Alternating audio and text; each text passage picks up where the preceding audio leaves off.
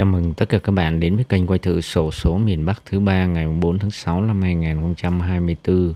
Chúc tất cả các bạn có một ngày mới vui vẻ hạnh phúc, gặp nhiều may mắn, phát tài, phát lộc, đại phú, đại quý, vạn sự như ý. Chọn cho mình những con số may mắn nhất trong ngày hôm nay. Xin chào và hẹn gặp lại tất cả các bạn ở video kế tiếp.